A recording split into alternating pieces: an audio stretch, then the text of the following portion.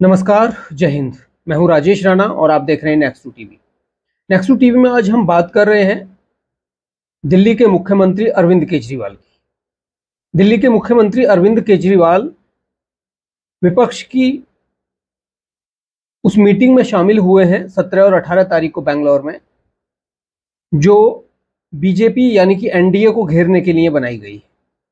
और आज अरविंद केजरीवाल उन्हीं नेताओं के साथ गलबैयां कर रहे हैं, जिन नेताओं को भ्रष्टाचारी और परिवारवादी बोलकर राजनीति में आए थे।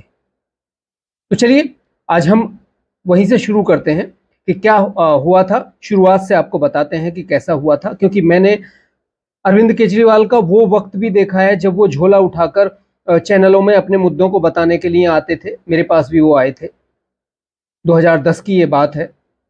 और वो आंदोलन भी पूरा देखा है मैंने, जो अरविंद केजरीवाल ने हायर कर लिया था अपने एजेंडे के लिए।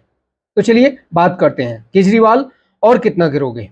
बच्चों की झूठी कस्में खाना, तोड़ना, पेशा है क्या आपका? क्या आपने ऐसा नेता देखा है केजरीवाल के अलावा, जो बच्चों की झूठी कस्म मीडिया के सामने क्या केजरीवाल के लिए परिवार के कोई रिश्ते नहीं क्या केजरीवाल जैसे तथाकथित पढ़े लिखे परिवारों में रिश्ते कोई मायने नहीं रखते हैं? क्या केजरीवाल ने जानबूझकर लोगों को राजनीति करने के लिए गुमराह किया? क्या केजरीवाल ने जानबूझकर लोगों के सामने ऐसी झूठी कस्में खाई जो हमारे समाज में कोई नहीं खा सकता? हमारे समाज में अपनी औलाद की झूठी कसम तो कभी कोई खा ही नहीं सकता। क्या इसी का फ़ायदा उठाकर लोगों को इमोशनली ब्लैकमेल किया केजरीवाल ने? क्या केजरीवाल भारतीय समाज की उस सच्चाई की झूठी कस्मों को खाकर राजनीति करना चाहते हैं जिस पर समाज टिका हुआ है? क्या ऐसी झूठी कस्में खाकर केजरीवाल हमेशा राजनीति कर सकेंगे, जो भारतीय समाज की नींव है? क्योंकि हमारे समाज में कोई भी अपने बच्चों की झूठी कसम नहीं खाता। तो आइए आपको बताते हैं केजरीवाल की हर उस झूठी और सच्ची कस्मों के बारे में, जिन्हें उन्होंने नेता बनने के लिए खाई थी। आगे बढ़ने से पहले आप सभी लोगों से प्रार्थना है कि हमारे चैनल को सब्सक्राइब कर लें और कमेंट करके हमें बताएँ कि आप और किन किन मुद्दों पर हमारे साथ जुड़ना चाहते हैं। साथ ही आप बात करना चाहते हैं, हम उन सभी मुद्दों को आपके सामने रखेंगे। सबसे पहले आपको बताते हैं कि केजरीवाल ने राजनीतिक पार्टी बनाते वक्त क्या कहा था। दस साल पहले केजरीवाल ने कहा था, बच्चों की कसम, न कांग्रेस से गठबंधन करेंगे, न बीजेपी से। यह बात 2013 की है। 2015 में केजरीवाल मुख्यमंत्री बनने के बाद कहते हैं, बंद कर दो सीबीआई, बंद कर दो ईडी, बंद कर दो एसीबी। अगर तुमसे जाँच नहीं होती, जाँच करनी है तो दो दिन के लिए सोनिया गांधी को का इंट्रोगेशन कर लो। देखो, पता चल जाएगा किस किसने रिश्वत लिए और कौन कौन नहीं कौन कौन बचा है? आज उन्हीं सोनिया गांधी के साथ केजरीवाल जाके गलबैया कर रहे हैं। आज हम सब लोग केजरीवाल कहते हैं बेंगलोर की अपनी एक भाषण में, आज हम सब लोग 26 पार्टियाँ बेंगलोर में यहाँ पे एक साथ आए। कुनबा बढ़ रहा है। ये बात 18 जुलाई को केजरीवाल ने बेंगलोर में कही है।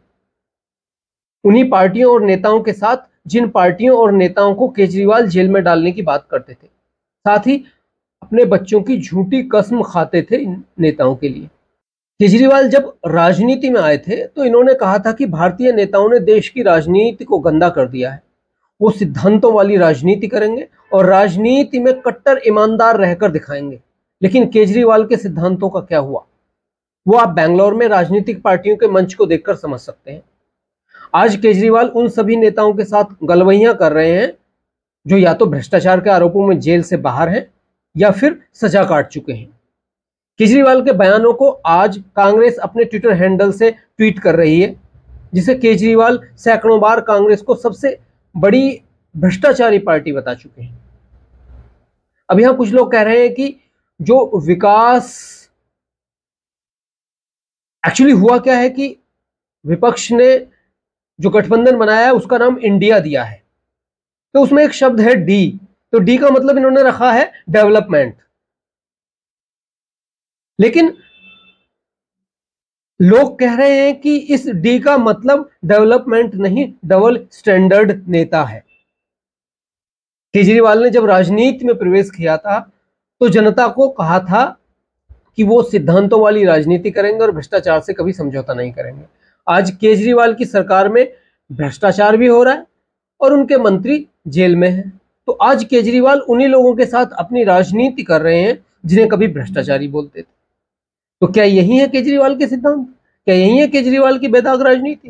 केजरीवाल के कई साथी उनका साथ छोड़कर चले गए। अब पार्टी में सिर्फ़ वही नेता बचे हैं जो केजरीवाल के चापलूस हैं और केजरीवाल के हर सिद्धांत को स्वीकार कर रहे हैं। इससे पता चलता है केजरीवाल की पार्टी में लोकतंत्र नाम की कोई चीज़ नहीं बची है, क्योंकि यह पार्टी लोकतंत्र बचाने और सिद्धांतों की राजनीति करने आई थी।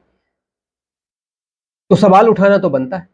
2010 की बात मुझे याद है केजरीवाल से मेरी मुलाकात एक चैनल में हुई थी, जहाँ केजरीवाल अपना इंटरव्यू देने के लिए और अपने मुद्दों को समझाने के लिए मेरे पास आए थे। तब मीडिया में मेरी शुरुआत थी। मैं एक प्रोग्राम का प्रोड्यूसर था, लेकिन हमने इनका इंटरव्यू नहीं किया था और इनके मुद्दे को सुनकर हमने इन्हें फिर से मिलने की बात कही थी। लेकिन मुझे इनके जाल की हकीकत समझ आने लगी थी धीरे धीरे जब केजरीवाल ने अन्ना आंदोलन को हाईजैक किया तो हमने एक प्रोग्राम में ही इनकी हकीकत बता दी थी कि इन लोगों का मकसद सिस्टम को सुधारने का नहीं, बल्कि राजनीति में अपनी जगह बनाने का है। अन्ना आंदोलन एक ऐसा आंदोलन था जिसमें पूरा देश खड़ा हो गया था अन्ना के साथ।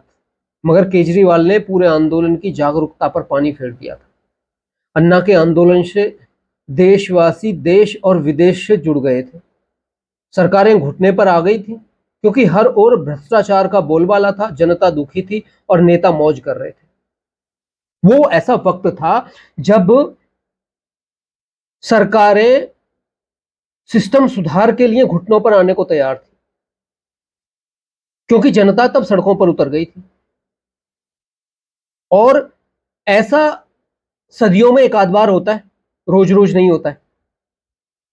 लेकिन उस पूरे आंदोलन पर पानी फेर दिया अरविंद केजरीवाल की तुच्छ राजनीति ने, राजनीतिक महत्वाकांक्षा ने। शायद उस वक्त जो जनता की मांगे थी कि देश में भ्रष्टाचार खत्म होगा, देश में सिस्टम परिवर्तन होगा, वो कुछ नहीं हुआ। क्योंकि इन्होंने एजेंडा पूरा बदल दिया और पूरे आंदोलन को हाईजैक करके अपनी राजनीति के इर्द गिर्द घुमा दिया। सबसे बड़ा सेटबैक था वो जिन लोगों ने भ्रष्टाचार से देश की राजनीति में पिछहत्तर साल से भ्रष्टाचार करने के बावजूद इतना नुकसान नहीं पहुँचाया था जितना अरविंद केजरीवाल ने उस वक्त एक आंदोलन को खत्म करके और अपनी तुच्छ राजनीति के लिए एक आंदोलन के सारे मुद्दों को दबा दिया था। वो आंदोलन ऐसा था जब देश में, देश के सिस्टम में बहुत बड़े परिवर्तन हो सकते थे। सरकारें करने को मजबूर थी क्योंकि जनता सड़कों पर थी। अरविंद केजरीवाल के साथ खड़े हुए तमाम जो सच्चे देशभक्त लोग थे, वो साथ ही खड़े होने के छोड़कर वापस चले गए, क्योंकि अरविंद केजरीवाल की महत्वाकांक्षा लोगों को पता चलने लगी। और इन्हीं महत्वाकांक्षाओं ने देश की राजनीति में जो सिस्टम परिवर्तन होने वाला था, उसको खत्म कर दिया। मेरा अपना मानना है एक सीनियर पत्रकार के तौर पर, क्योंकि मैंने उस आंदोलन को और उस वक्त बहुत सारे प्रोग्राम बनाए थे उस आंदोलन पर मुझे याद है, लिखे थे मैंने। मैंने उस वक्त भी ये लिखा था कि ये आंदोलन देश की राजनीति और देश के सिस्टम को बदल देगा। लेकिन इस आंदोलन ने सिर्फ़ अरविंद केजरीवाल की किस्मत को बदला। इसके अलावा कुछ नहीं हुआ इस देश में। सब कुछ वही रहा। तो मेरा मानना यह है कि अरविंद केजरीवाल जैसे नेता, उन नेताओं से भी खतरनाक है जिन्होंने देश की जड़ों को खोखला कर दिया भ्रष्टाचार करके। ऐसे लोग उनसे भी ज़्यादा खतरनाक है। तो दोस्तों, आपका क्या कहना है? बताइए हमें कमेंट करके और चैनल को सब्सक्राइब कर लिए। आज के लिए इतना ही। नमस्कार। Thank you.